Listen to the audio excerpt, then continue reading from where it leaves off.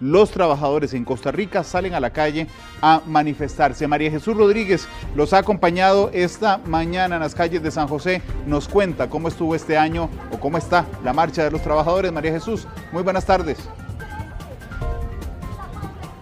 Hola, don Randall, muy buenas tardes. Siempre un placer saludarlo a usted y claro que aquí nos acompañan desde casa. Así como usted mencionaba, aquí estamos viendo el otro lado de la moneda de lo que es el primero de mayo, porque aquí en la calle, a las calles, se tiraron aquellas personas que son trabajadoras y de todos los ámbitos habidos y por haber, desde educación hasta salud e incluso hasta agricultores, han dicho presente aquí desde las ocho y media de la mañana, estaban reunidos en el Parque de la Merced, salieron casi a las 10 de la mañana hacia hasta aquí a la Plaza de la Democracia e incluso en el avance que hicimos a las 11 y 6 minutos, 11 y 8 minutos, podíamos ver a las primeras personas en llegar aquí a la Plaza de la Democracia y ahora el panorama es uno un tanto diferente. Pero estuvimos, estuvimos dándole seguimiento muy de cerca a la participación de diferentes sindicatos en esta marcha e incluso aprovechamos para hablar con la presidenta de uno de estos, específicamente con doña Hilda Ubaña de ANDE, quien nos brindó algunas declaraciones específicamente en cuanto a la situación que se vive en el gremio de los educadores. Hoy nos unimos al Día del Trabajador con una consigna del salario pronto y cumplido a tiempo, porque los trabajadores de la educación ya no queremos seguir normalizando el tema de que al sector educativo siempre se le quede debiendo.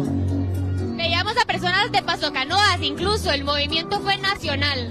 Es un movimiento nacional, hemos traído a gente de todo el país pequeñas representaciones, pero se han unido a nosotros porque ya el sistema educativo está cansado de normalizar el tema de que se le quede debiendo. Y también abogamos por el 8% en educación. Aquí, como les indicaba, comienza a calentar el ambiente y ha sido un ambiente muy completo y también muy bonito, porque hemos visto a personas que se han venido de todo lado del país, incluso desde Paso Canoas y en representación de los pueblos originarios, quienes también dicen presente, pues quieren ser escuchados y vamos a ver uno de sus relatos de un educador que se vino específicamente desde el sector de Paso Canoas en representación de este grupo. ¿Cuál es la realidad que viven ahí en Paso Canoas? Hay muchas necesidades, pero creo que si se logra hacer mejores políticas para la zona sur, creo que podemos salir de eso en cualquier momento. Zona sur y también vienen en representación de los pueblos originarios, porque es importante decir aquí estamos. Porque somos un, grupo minoría, ¿verdad? Representamos el 1% de la población y para nosotros es importante mostrar nuestra cultura y ser parte de esto también porque igual todos somos trabajadores. María, María Jesús, pareciera, pareciera ser una marcha mucho más tranquila que otros años. Eh, eh, es decir, todos los años en la práctica, eh, y, de hecho hubo muchos años en que la marcha del primero de mayo era muy fuerte, con, con, muchísimo enfrentamiento además con las autoridades, pero particularmente los sectores que marchaban tenían identificada alguna consigna, es decir, la marcha de X cosa o de Y cosa, y así era, así era Así era claramente en las marchas de los últimos primeros de mayo con consignas claras. Pareciera hoy, María Jesús, que cada grupo mm, marcha por su interés, los educadores por temas de educación, eh, la gente de salud por salarios, es decir, pareciera no haber una consigna. ¿Quién nos cuenta usted que ha estado junto a ellos esta mañana, María Jesús?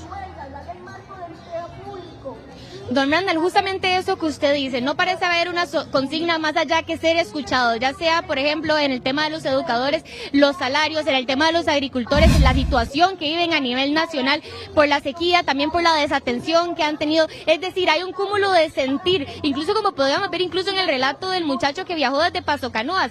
Ellos también están presentes, ellos son un por ciento de la población y quieren ser escuchados y quieren ser atendidos por los diferentes poderes de la República y por eso dicen hoy aquí específicamente específicamente ante la Asamblea Legislativa. Otro elemento que tenían en común a anteriores marchas es que llegaban a la Asamblea Legislativa y casi que forzaban a los diputados a salir a atenderlos. Usted está ahí en la Plaza de la Democracia, pareciera que este no es el caso, es decir, que es una marcha muchísimo más pacífica y además no hay un enfrentamiento directo, María Jesús, con la Asamblea Legislativa. ¿Salieron los diputados a recibirlos o no?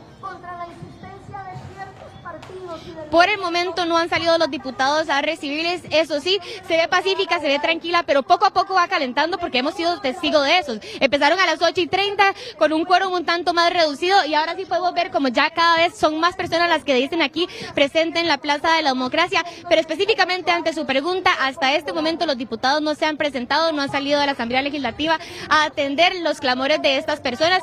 Eso sí, los sindicatos se han armado con buen parlante y se acercan cada vez más al para ojalá ser escuchados y cerrar esta manifestación con una serie de discursos con estas diferentes exigencias de cada uno de los diferentes gremios que está diciendo aquí hoy presente entonces en esta marcha de los trabajadores. Gracias, María.